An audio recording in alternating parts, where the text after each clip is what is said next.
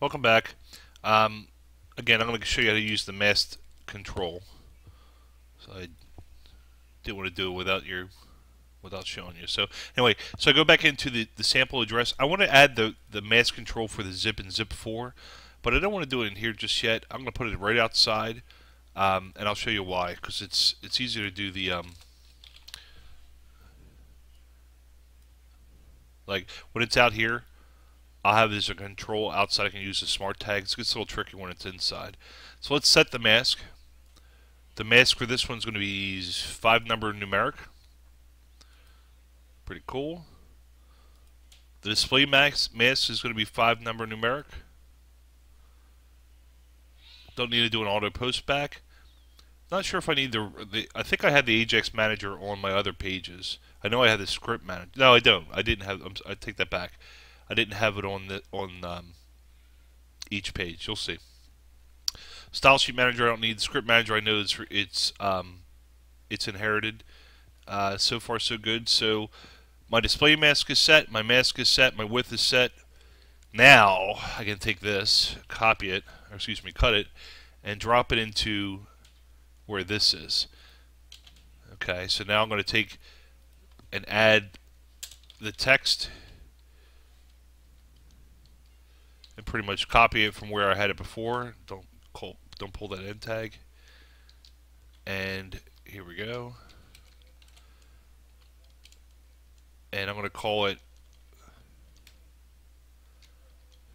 R uh, mask mask text uh, zip 4 actually this one's only display 4 not display 5 and just so I'm not over five characters, I'm going to put a max length on it.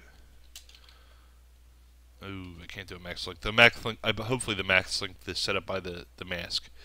Alright, so we're going to kill this. And that one's done. Now, I'm going to go back over to here into this item, edit template, excuse me, and do the same. Instead of zip 4, it's just going to be zip. And instead of zip 4. It's just going to be zip. Okay, and instead of the four pound signs, it's going to be a fifth one. Control KD. I'll get rid of the white space later. I don't see any crazy errors here. Let's give it a start, see what happens. Now again, you won't see the, the mask stuff unless we're in edit mode. Unless we're in edit mode. So let's close this guy out.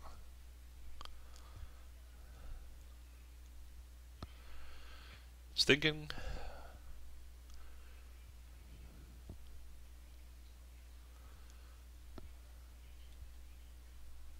Cool. And there we are. Edit. No failures. That's a good sign. So zip is there. Zip 4. Notice I have the, the mask. Let's see what happens if I try to type in A's. Notice I get this little cool Ajax, Ajaxy thing happening there. Excellent. Can't type in anything here. Kind of strange that it pushed the space in there, but anyway, so let's say it won't let me type in more than five characters. Let's try that again. One, two, three, four, five, six, six, six, six, six. Nothing's happening. So the max length is set that way. One, two, three, four. Not bad. So I'm not able to do anything with that. This, this, or city. I could probably throw max length around it. Um, state. Uh, not much I can do here. Okay. I noticed something here with ST. I'd rather call this state than ST. Let's go back over to the unique name header text. I'm going to call that. I hate when it does that. State. And the header text goes with the label, so when I refresh this,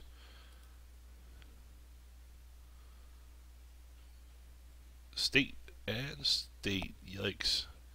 That is a different font than that. That is strange. Oh, you know what? I bet you it is. Um, it's using the it's using the uh, the skin from from this to this.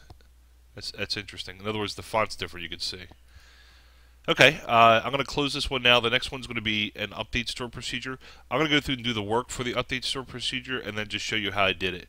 It's exactly the same thing as a select procedure. Obviously, it's an update instead of a select. the same sort of methodology. BLL, DAL, domain model. Don't think I need the domain model because I'm not going to return anything. Um, and the store procedure. I'll be back. Thank you.